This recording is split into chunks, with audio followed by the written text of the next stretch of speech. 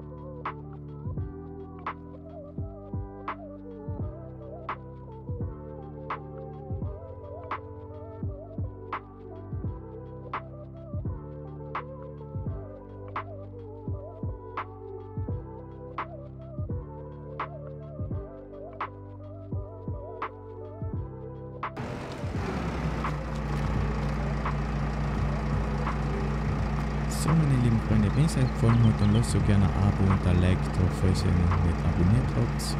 Schreibt es gerne in die Kommentare, wie ihr meinen Core-Style findet. Ja, ich weiß, da muss ich noch dran arbeiten, weil ich das schon lange nicht mehr gemacht habe. Aber sonst passt eigentlich. Wenn es euch gefallen hat, lasst gerne ein Abo und ein Like da, schreibt einen netten Kommentar und dann sehen wir uns in der nächsten Folge wieder. Bis dahin, macht's gut. Ciao, ciao.